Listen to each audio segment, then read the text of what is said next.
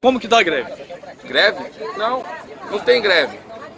A gente está aqui numa manifestação pacífica.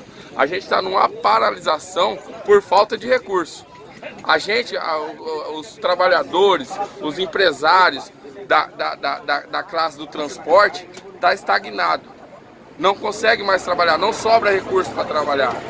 Entendeu? A gente está numa movimentação autônoma pacífica. Está parando os caminhoneiros, os donos de caminhão, as transportadoras, os empregados estão parando por falta de recursos. A gente não está em greve. É, nesse ponto aqui, Ademir, vocês têm quantos caminhoneiros hoje paralisados? A gente está com a base aqui de uns 800 a mil e poucos, mil caminhão.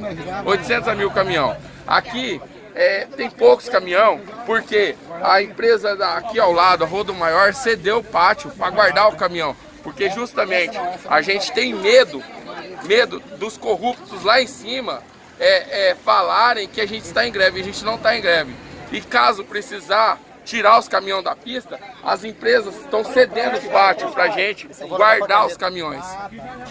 É, digamos assim, esse protesto, o que, qual seria a proposta do governo para paralisar esse protesto? Ó, o protesto está sendo falado várias coisas, que a gente quer que a baixa do, a redução do imposto do diesel. A gente não quer a redução do imposto do diesel, a gente quer a redução dos impostos. Os nossos impostos, os brasileiros estão super taxados. Só que os brasileiros não estão acordando que eles estão sendo prejudicados. Hoje a gente está fazendo dor, mas amanhã a gente quer fazer alegria. Os brasileiros estão sendo prejudicados. Eles estão olhando para o umbigo. Enquanto tiver sobrando as coisas, eles não vão olhar, eles não vão olhar, eles não vão vir para cá.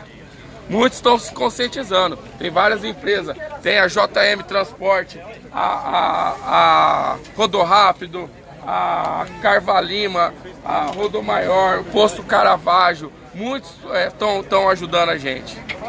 Vocês estão precisando de, algum, de alguma doação, algum apoio da comunidade? Mantimentos, o que tiver, o que a população quiser. Mas em especial a gente está precisando da população aqui.